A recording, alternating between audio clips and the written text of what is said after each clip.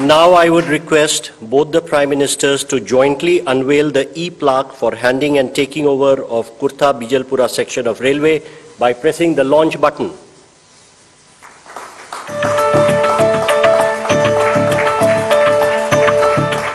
Thank you, sir.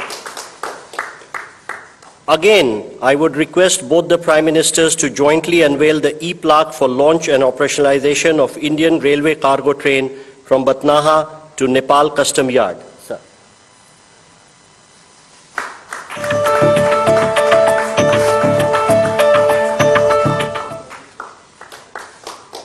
Now I request both the Prime Ministers to jointly flag off the inaugural run of an Indian Railway cargo train from Batnaha to Nepal Custom Yard. We will be getting live feed through the RailTel network and I would request the flags from both the Prime Ministers to wave off the train.